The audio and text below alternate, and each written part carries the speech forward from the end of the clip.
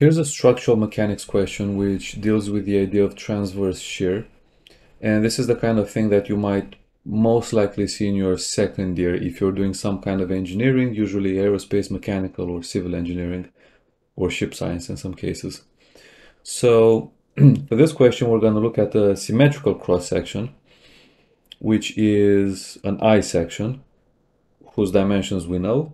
And we also know that this section experiences a vertical shear force, uh, which is 200 kilonewtons in magnitude, and the line of action coincides with the center, it says here that it coincides with the center line of the web of the section. So in other words, this force is, you know, along this line basically. So it's not off center, it's not producing a twist or anything weird like that. It's just acting downwards along that center line of the of the cross section. So automatically we can write that V is equal to 200 kilonewtons. And by the way, if there are any other similar questions that you'd like to see, uh, let me know in the comments. So for part A, we're being asked to find the value of the shear stress in the web at its junction with the flange. So we can write that the shear stress, we'll write the, the formula first, so it's V times Q over IZZ times the thickness. Okay, so that's what we're going to use. And as usual, we pretty much know most of it. Actually, we don't really know the second moment of area, so we'll have to calculate the second moment of area, which shouldn't be too difficult because this is symmetric, so we automatically know where the centroid is. So the centroid is here. It's in the middle of everything basically. So IZZ is going to be equal to IZZ1. So let's say that this section at the bottom is 1, the tall one is 2, and the one at the top is 3. So IZZ1 plus IZZ2 plus IZZ3. Okay, so let's find them one at a time. By the way, this one the IZZ1 and IZZ3 are equal to each other because of symmetry reasons. So let's say IZZ1 is equal to, so technically this here is a rectangle, right? So it's a rectangle and the second moment of area is 1 over 12. The height, the height being 14, that's the thickness as well. So it's 14 cubed multiplied by 125. So that's that's it. That's the second moment of area, but that's about the centroid of 1, right? We want to find the second moment of area about the centroid of the whole thing. So we have to apply the parallel axis theorem. So we add 125 times 14, so which is the area of that section that we called 1. And then we have to multiply that by the distance between the centroids, right? So it's the distance between this centroid and this centroid. So yeah, we know the distance from here all the way to the bottom is 150. And we know that this centroid is 7 away, right? So we can subtract 1, we can subtract 7 from 150 and we get 143 squared.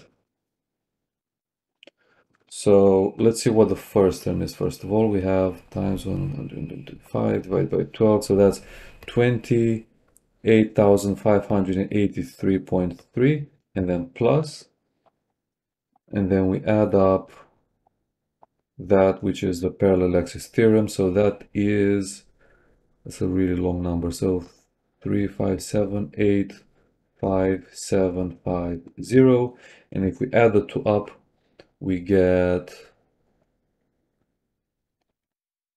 this. So 3 5 8 1 4 3 3 3.3 and that's going to be millimeters to the power 4 which is the same as IZZ3 right so now IZZ2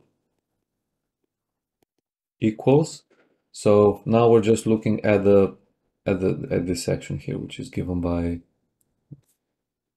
at that it's given by that part. So that's just 1 over 12 times And now we have to use the height. So to find the height, we have to use 300. So it's 300 minus, and then we have to subtract 14 twice. So it's going to be 300 minus 28. So 300 minus 28 is 272.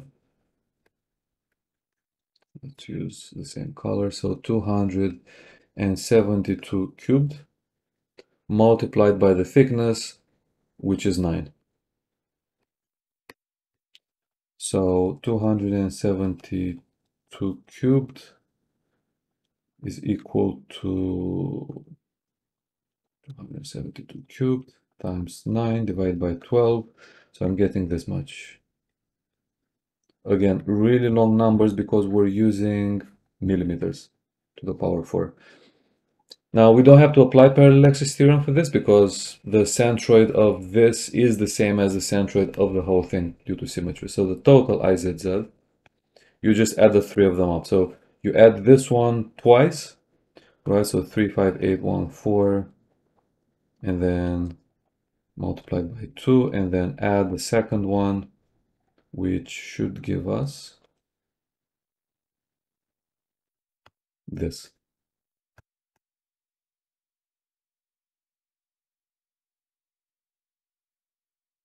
Okay, um, and if, if, if you want, you can convert it. So it's this multiplied by 10 to the minus 12 meters to the power 4. But I'll try to leave it like this for now and uh, get everything in millimeters. But let me actually rewrite it as... So if I move the decimal point, maybe, let's see, one, two, three, four, five, six places. So I'll call this 86.7 times 10 to the power 6 millimeters to the fourth, so just to do an approximation. Um, and just use three significant digits. Okay, so we found IZZ for the whole section, and now we can start solving this and find the shear stress. So the first thing we have to find is the shear stress at the junction between the web and the flange. So in other words, if I zoom in on what's happening at the top. So we have a junction and then there's a jump in the values of thickness, right? And then the centroid is somewhere here. And we know the coordinate of the centroid. So the centroid is at a distance, I should be 150. Let me just double check. So it's 150 from the very top. Okay. And this section has a centroid as well. And the centroid of this is situated at, it should be 7, yeah, it's 7 centimeters like that. Okay, so let's find the first moment of area of this, first of all. Because we'll need that to find the stress both here as well as here. So the first moment of area is equal to the area itself of that section, which is 14 multiplied by 125. So it's 14 times 125 and then multiplied with the coordinate, so the distance from here to here, which is 150 minus 7. So it's the distance between the two centroids, essentially.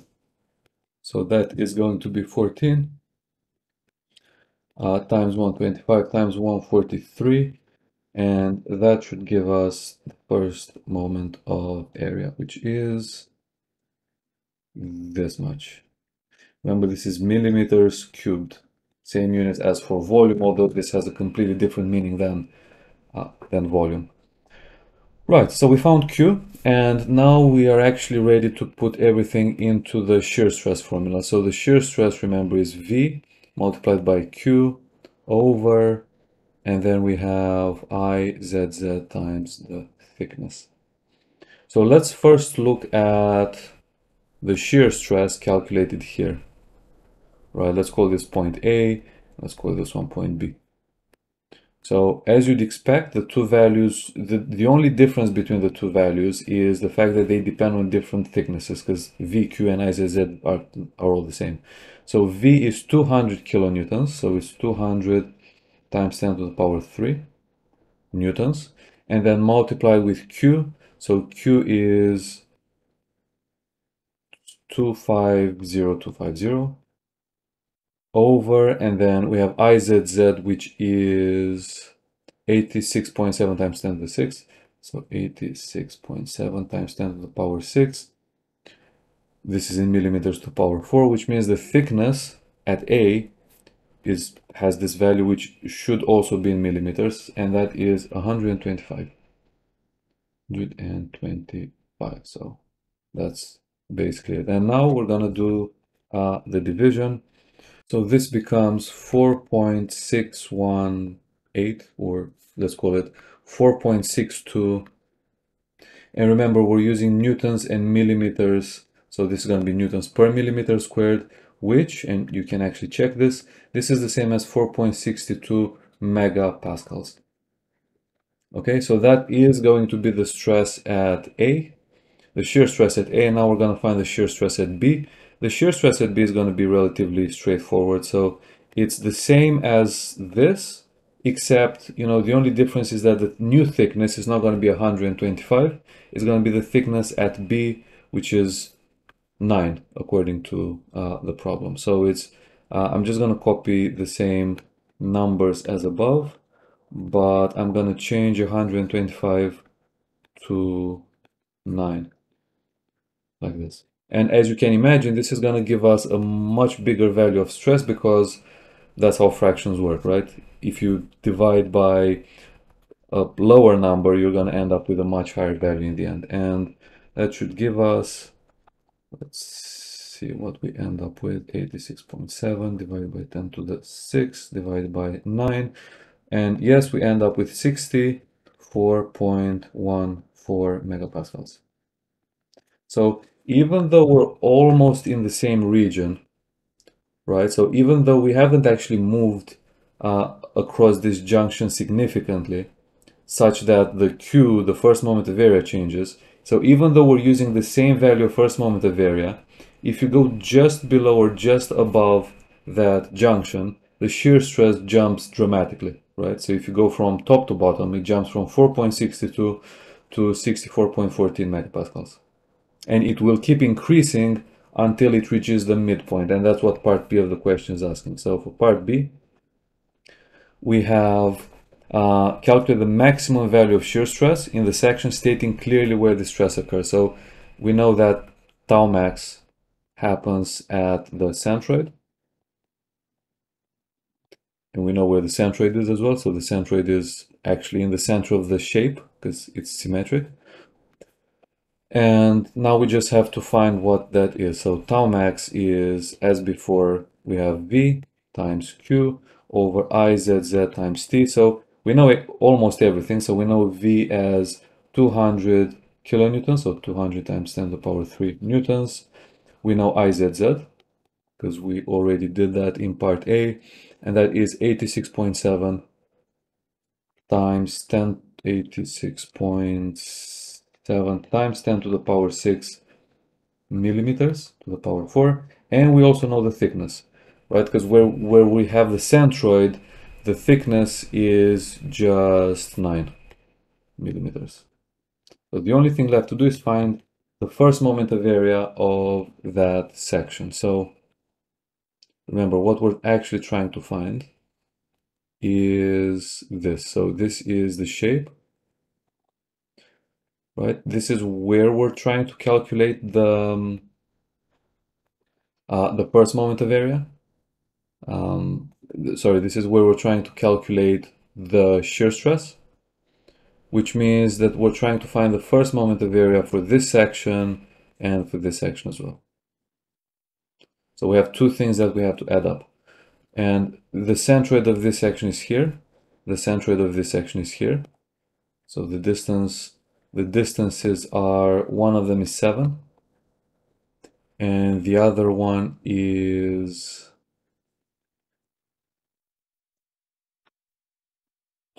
we have 14 plus 272 divided by 4, right? So the whole thing, so from here to here, it's 272 by 2, which should be equal to 136 millimeters, right? Because the whole thing from top to bottom is 272, and when I mean, say from top to bottom, I mean from here uh, to the next junction, so this value here becomes 82. Right, so the distance from the top to this centroid is 7, the distance from the top to this centroid is 82, and the distance from the top to the centroid of the whole thing is, of course, 150. I'm not writing units, it's, it's going to clutter the drawing. So let's find what Q is. So Q is equal to Q1 plus Q2, where Q1 is the first moment of area, let's say, of this bit, and Q2 is the first moment of area of this bit. Right, this is 2. So Q1 is going to be equal to the area, which is 14 times 125. Okay, and then times the distance from here to this uh, centroid, which is 150 minus 7, so it's 143. And then plus, and we've actually already done this before, if you remember. Uh, so to this, we add the first moment of area of that tall bit. So that's 9 times 136 uh, times the distance to the centroid. So the distance to from here to here is 136 divided by 2, which is 68.